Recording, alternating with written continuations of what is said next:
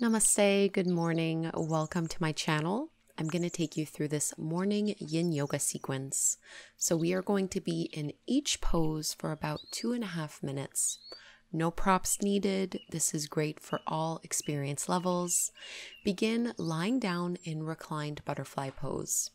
So, you can bring the soles of your feet together to touch.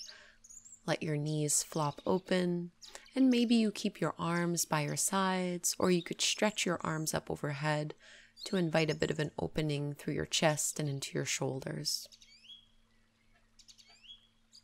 So, as you hold this first pose, breathe in and out through your nose. Try to relax fully. No tension here in your jaw and your facial muscles. And this is a wonderful practice to set your intention for the day ahead.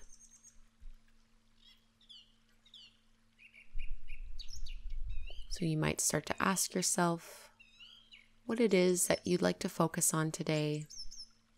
What is most important to you right now? Choosing one word that captures this intention.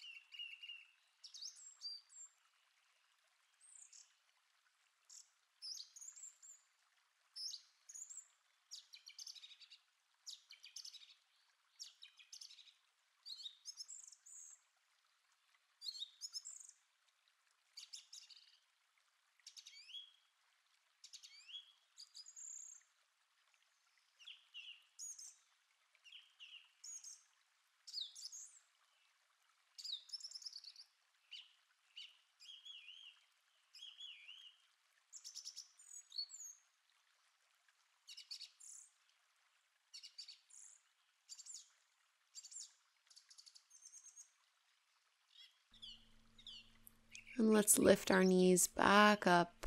And it might feel good just to drop your knees side to side in a little windshield wiper motion. We'll come into our reclined pigeon pose, a variation of swan. Cross your right ankle over the top of your left knee, and you can pull your left thigh in towards your belly.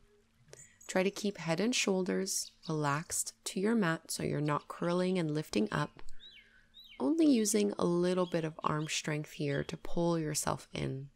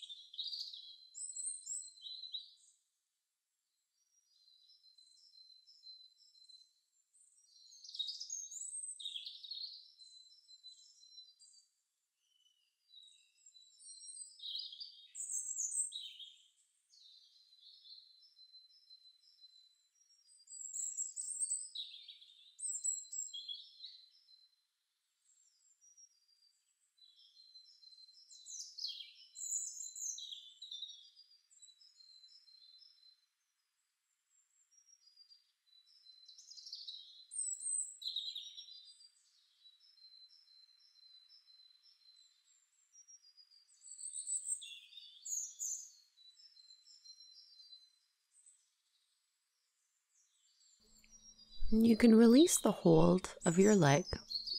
Wrap your right thigh a little bit more over the top of your left thigh. And you can move your hips a little bit over to the right as you drop both knees over to the left, coming into a laying spinal twist. You can open up your arms, taking a little cactus shape with your upper body, and maybe gaze over your right shoulder. If this is uncomfortable for your neck, just keep your gaze straight up but we're trying to stack our right hip directly over the left one, creating more space between our right hip and our right shoulder.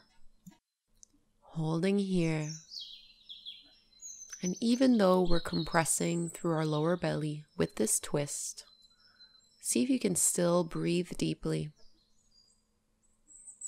in and out through your nose with no restriction just relaxing a little bit more with every exhale.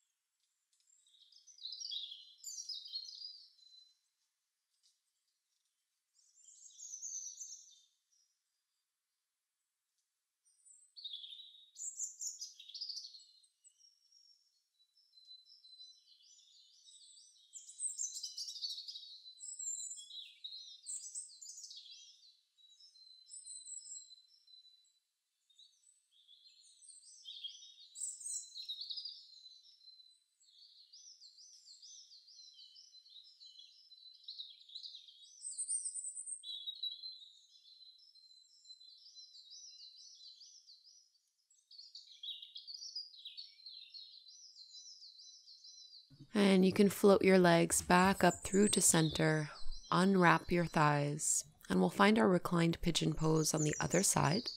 So your left ankle can cross over the top of your right knee, and you can reach through with your arms to pull that knee a little bit closer in towards you.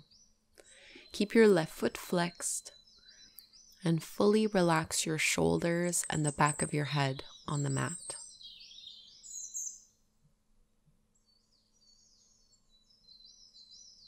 Checking in here to notice how you're feeling this morning.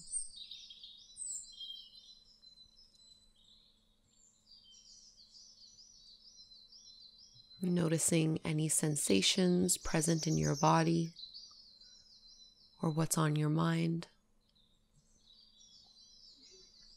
just breathe here.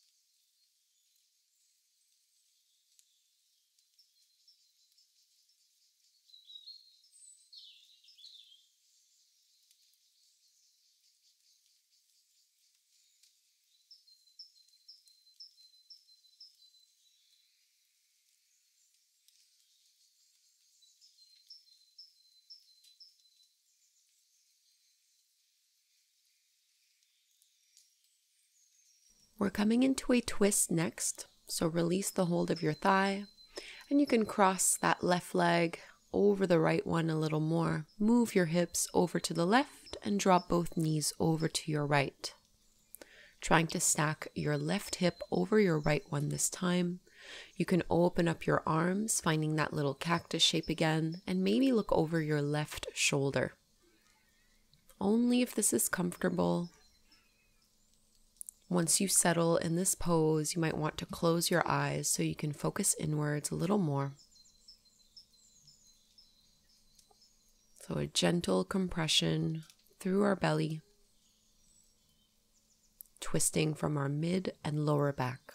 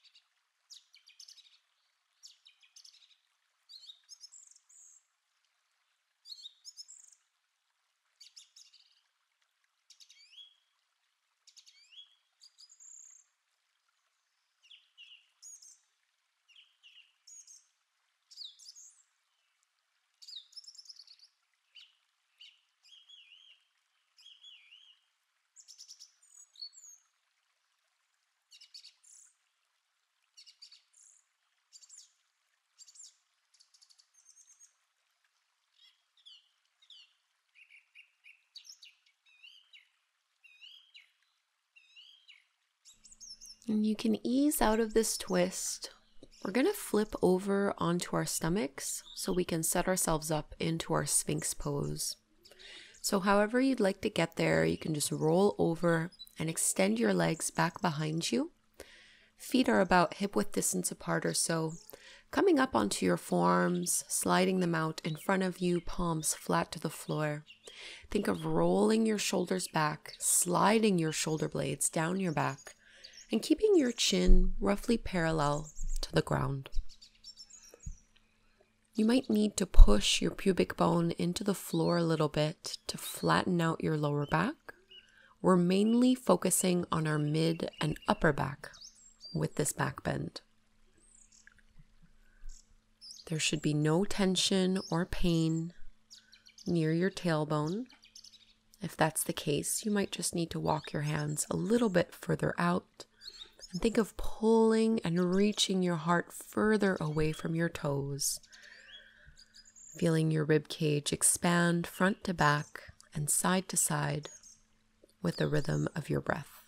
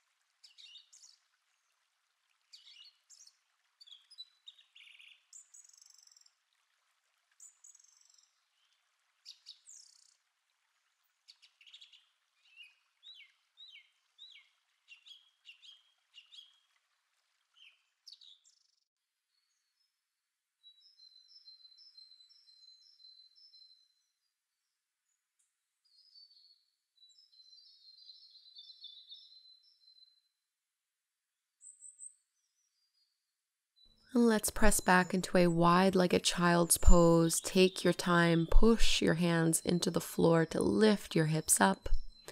And you can bring your big toes together to touch, widen your knees as much as is comfortable to you. Press your hips back towards your heels and fold on down. So we're really trying to stretch and lift out of our lower backs but also keep pressing your shoulders away from your ears. Give your neck lots of space here. Relax your arms. And even though the emphasis of this pose is on pressing our hips towards our heels, also think of melting your chest towards the mat, really softening the space between your shoulder blades.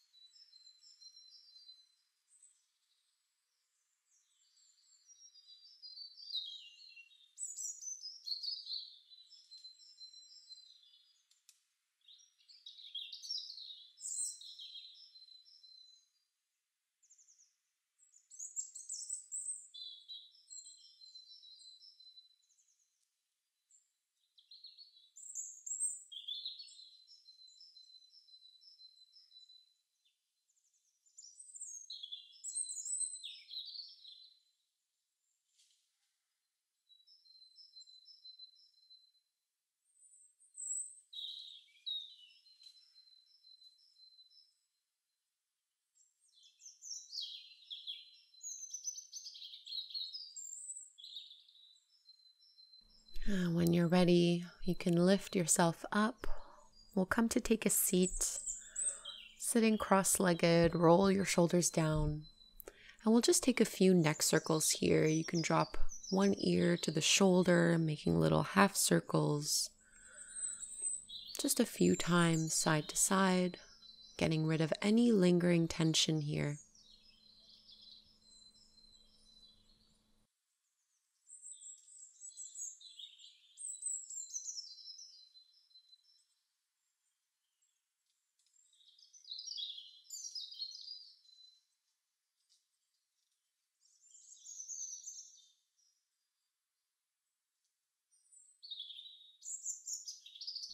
And lifting your head back to center, let's bring our palms together at the heart. We'll take a cleansing breath in through the nose, exhale out the mouth.